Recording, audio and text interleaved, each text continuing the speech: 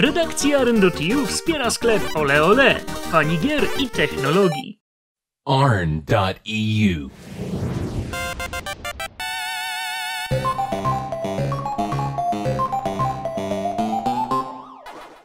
Pac-Man obchodzi swoje 40 urodziny. Z tej okazji Bandai Namco wydało na świat kilka mniejszych i większych pamiątkowych projektów. Parę miesięcy temu mieliśmy na przykład przyjemność pokazać wam drogą rzeźbę sławnego francuskiego artysty. Ale to, że do sprzedaży trafić ma specjalne rocznicowe Tamagotchi, kompletnie mi umknęło. I gdyby nie przypadkowy artykuł w sieci, nie miałbym o tym małym cudzie pojęcia. Co ciekawe, ta japońska, jakby nie było zabawka, nie jest w ogóle sprzedawana w Japonii i trafiła do dystrybucji wyłącznie na rynkach amerykańskim i europejskim. I to też nie wszędzie, bo na przykład w brytyjskim sklepie Namco nie ma o nim żadnej wzmianki. Ostatecznie więc kupiłem ten towar deficytowy na eBayu, gdzie kosztował mnie on trochę ponad 100 zł z wysyłką. Tak, to droga zabawka, ale tak to już bywa z przedmiotami kolekcjonerskimi. Fani mają w czym przebierać, bo do zakupu dostępne są dwa warianty kolorystyczne, a droższa wersja premium ma nawet gumowe etui w kształcie Pacmana. Ja zadowoliłem się opcją tańszą. Konceptu Tamagotchi nie muszę chyba nikomu przedstawiać. To zamknięty w breloku symulator małego żyjątka, którym musi zajmować się właściciel. Najlepiej przedstawia to pudełko. Możemy naszego zwierzaka karmić, możemy z nim grać, możemy z nim duch i możemy z nim robaki. Trochę zawiodłem się, że nie wychowujemy tu własnego Pacmana. Po wyciągnięciu zawleczki i ustawieniu zegarka odpala się melodyjka z automatu, a na ekranie pojawia się jajko, z którego wykluwa się standardowe tama dziecko. Pacman pełni tu rolę bonusową, jest nazwijmy to nianią dla Bobasa gracza. W porównaniu do niektórych innych zwierzaków zakres opcji jest tu wyjątkowo skromny. Wciśnięcie środkowego przycisku pokaże zegarek, prawy wskaże jaki humor ma zwierzak. Lewy guziol to jedyne dwie formy interaktywności: karmienie i zabawa. Pierwsza opcja żarełka ryż wypełnia brzuch dzieciaka, druga przekąska poprawia mu humor.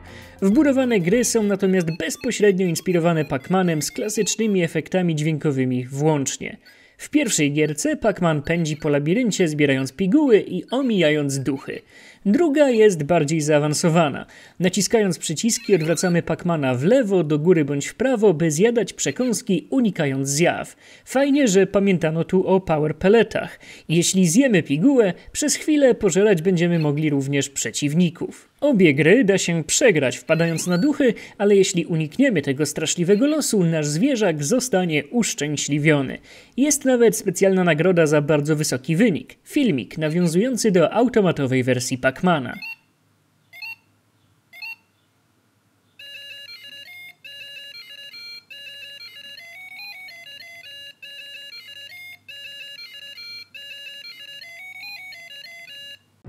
Ogółem fajnie zrealizowany pomysł, który psuje jedynie zerowa ergonomia zabawki. Współczesne Tamagotchi są jajkowate, przez co ani trochę nie trzyma się ich wygodnie w dłoni, a ich maciupeńkie przyciski są siebie tak blisko, że trudno wciska się je celnie dziecku, a co dopiero takiemu staremu koniowi jak ja. Ale to tam małe piwo. Tamagotchi to nie jest jakaś strzelanka, żeby trzeba było się pocić ze sterowaniem. Bardziej irytowała mnie, szczególnie przy nagrywaniu, pozycja wyświetlacza, który schowany jest głęboko wewnątrz skorupy. Nie dość, że szkiełko chroniące ekran znajduje się we wgłębieniu, które żarło będzie kurz i brud jak Pacman prochy z podłogi, to na dodatek wyświetlacz wciśnięty jest jeszcze niżej, na oko w połowie grubości obudowy.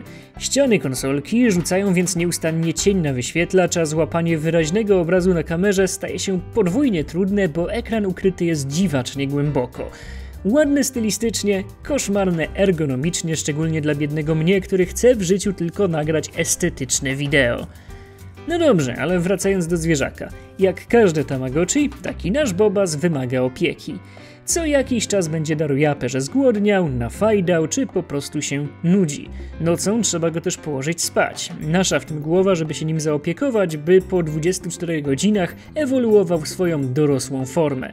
Form jest kilka, w zależności od tego, jak dobrze radzimy sobie jako rodzic i od tego, jaki kulek, biały czy czarny, wykluł się z jajka.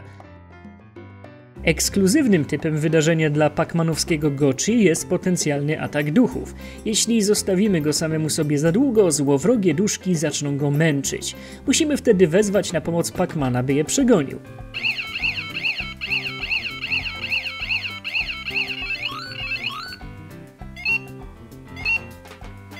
Ale dużo fajniej jest być masochistą, by po pewnym czasie liczba duchów wzrosła i ostatecznie Tamagotchi zaatakowały glicze. To oczywiście odniesienie do sławnego błędu z automatowej wersji gry. To też ostatni dzwonek, by wezwać paszczaka, bo jeśli nie ocalimy naszego malucha, sam powiększy grono duchów.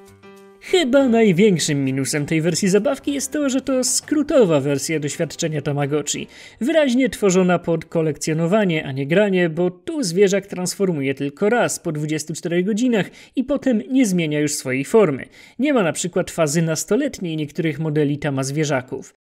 Natomiast jeśli będziemy opiekować się naszym maluchem prawidłowo, to istnieje możliwość odblokowania sekretnej ewolucji Tamagotchi, w której nasz pupil ujeżdżał będzie samego Pacmana. Cóż, mi niestety mimo kilku prób się to nie udało, więc najwyraźniej nie jestem zbyt dobrym tatą dla małego kosmity. Hm.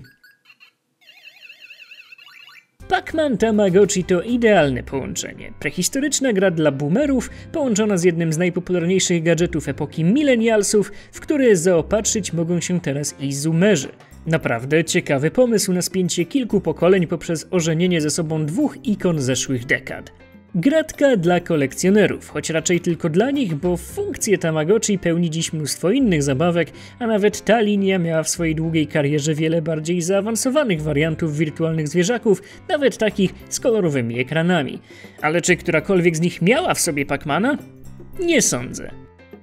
Te kolekcjonerskie produkowane są zdecydowanie pod nostalgię. Te warianty ludzie pamiętają najczęściej, więc nic dziwnego, że to właśnie do tego stylu zabawki się wraca. A na pożegnanie, jeśli stęskniliście się za Tamagotchi, to na Rendo.tu znajdziecie też już prawie dziesięcioletnie materiały na temat historii tych zabawek oraz szeregu ich tanich podróbek autorstwa Neko. Do usłyszenia! Waka waka waka waka.